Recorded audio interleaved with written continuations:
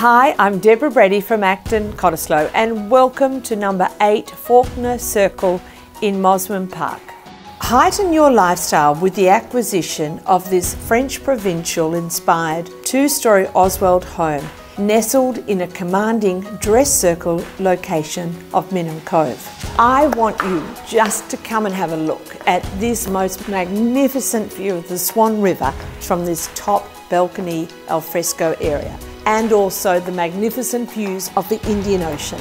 It doesn't get any better than this. And don't forget the sparkling solar heated swimming pool that headlines it all.